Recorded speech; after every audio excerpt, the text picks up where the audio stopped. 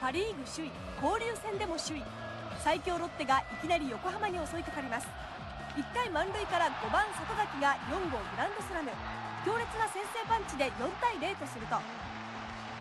2回1番西岡が続きます。力と技を兼ね備えた20歳の若きリードオフマンの3号ソロアーチで1点を追加。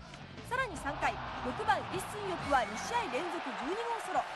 鮮やかな一発攻勢で6点リードを奪います。この大きな援護にセ・リーグにはいないサブマリンが横浜打線を苦しめました。先発渡辺俊介は8回3失点で単独トップの8勝目。